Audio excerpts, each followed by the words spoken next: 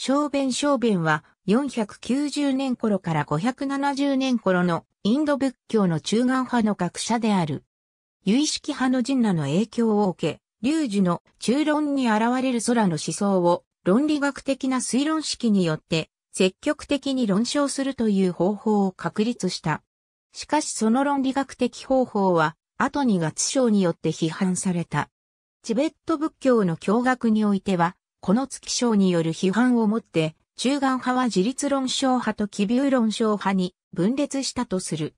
江島恵教は、月章作り、プラサンナパダーの12のネパール系写本における、小弁の故障がボバビビカとボバイベカという2系統であり、ボベアは存在しないことを指摘している。